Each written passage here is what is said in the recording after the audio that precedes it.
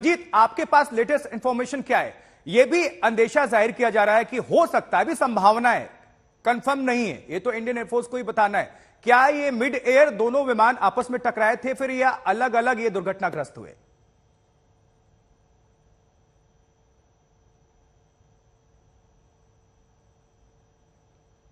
मंजीत, आप हमें सुन पा रहे हैं? मंजीत, आप तक हमारी आवाज़ पहुँच पा रही है? चलिए, मंजीत को हम दोबारा दोबारा संपर्क करने की कोशिश करेंगे, तकनीकी समस्या की वजह से। देव अंकुर भी हमारे साथ जुड़े हुए हैं, और ये रेस्क्यू की तस्वीरें इस बीच हम आपको दिखा दें। देखिए, इंडियन एयरफोर्स के अधिकारी वहाँ पर पहुँच गए, और किस तरह से ये देखिए, रेस्क्यू की तस्वीरें आई हुई हैं। हेलीकॉप्टर आपको नज़र आ रहा है, हेलीकॉप्टर वही मौके पर उतारा गया। आनंद फानंद में तुरंत अधिकारियों ने वहाँ पर हाई लेवल चूँकि खुद रक्षा मंत्री मॉनिटर कर रहे हैं, इस घटना की। रेस्क्यू की तस्वीरें सामने आई हैं, वहाँ पे तमाम रेस्क्यू टीम, वहाँ पर मोर्चा संभाला उन्होंने, डॉक्टर्स की टीम वहाँ पर मौजूद है उनके साथ। और ले जाते हुए पायलट को हेलीकॉप्टर के अंदर। और ये तस्वीरें देखें। लेकिन दो हमारे इंडियन एयरफोर्स के जो फाइटर जेट्स हैं, वो दुर्घटना के शिकार हुए हैं। एक सुखोई थर्टी आई और एक मिराज टू थाउज़ेंड। और जानकारी मिल रही है कि मुरैना में ये दुर्घटनाग्रस्त हुए हैं। लेकिन अब सवाल ये है कि अभी तक इंफॉर्मेशन इंडियन एयरफोर्स आगे साझा करेगी। इंतज़ार बस उस पल का है, क्या ये मिड एयर क्रैश है या फिर अलग अलग ये दुर्घटना के शिकार हुए। लेकिन रात की बात ये, जिस तरह से हमारे सहयोगी लगातार इंफॉर्मेशन दे रहे हैं कि दो जो पायलट्स हैं, देश के एसेट होते हैं पायलट वो सुरक्षित बताए जा रहे हैं। लेकिन एक की अभी तलाश जारी है और ये जो रेस्क्यू ऑपरेशन आप देख पा रहे हैं। मंजीत नेगी हमारे सहयोगी जुड़े हुए हैं। मंजीत, आपसे जानना चाहेंगे, आप लेटेस्ट इंफॉर्मेशन दर्शकों को बताएँ।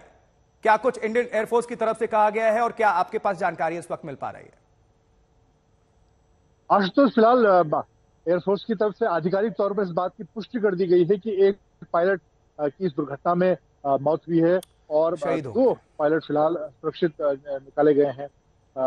वो मिड एयर और जहाँ तक दोनों दुर्घटना के प्राथमिक तौर पर जो जानकारी मिल पा रही है ये माना जा रहा है कि दोनों आपस में टकराने की वजह से ये बड़ी दुर्घटना हुई है। दोनों ने सुबह नौ बजे के आस बिल्कुल मीडियर क्रैश की बात सामने आ रही है हालाँकि आधिकारिक तौर पर जो कोर्ट ऑफ़ इंक्वायरी की गई है उसके बाद ही कोर्ट ऑफ़ इंक्वायरी जो ऑर्डर की गई है उसके बाद ही इसकी जान इसकी पुख्ता डिटेल जानकारी मिलेगी। लेकिन फ़िलहाल शुरुआती तौर पर यह बात सामने आ रही है कि ये मीडियर क्रैश के तौर पर दोनों जो लाखों विमान है उन्होंने प्रैक्टिस के तहत एक ट्रेनिंग उड़ान के तहत दोनों ने सात उड़ान भरी और उड़ान भरने के दस से पंद्रह मिनट के अंदर ही दोनों मिड एयर क्रैश आपस में टकराने की वजह से दुर्घटना हुई और एक सुखोई जो विमान है वो मुरैना में जाकर गिरा है, उसका मलबा और भरतपुर में जो मिराज टू थाउज़ेंड है, वो गिरा है।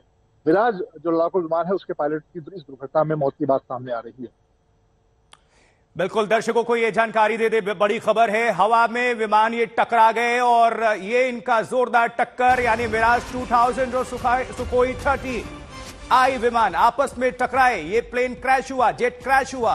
उसके बाद से ये तस्वीरें आप देख रहे हैं। और जिस तरह से मंजीत नेगी और हमारे संवाददाता यहाँ पर जानकारी साझा कर रहे हैं कि एक पायलट हमारे शहीद हो गए हैं और दो पायलट सुरक्षित बताए जा रहे हैं, जिनका रेस्क्यू ऑपरेशन किया गया है, उपचार के लिए उनको भेजा गया है और इस बाबत रक्षा मंत्री की भी निगाहें लगातार बनी हुई हैं।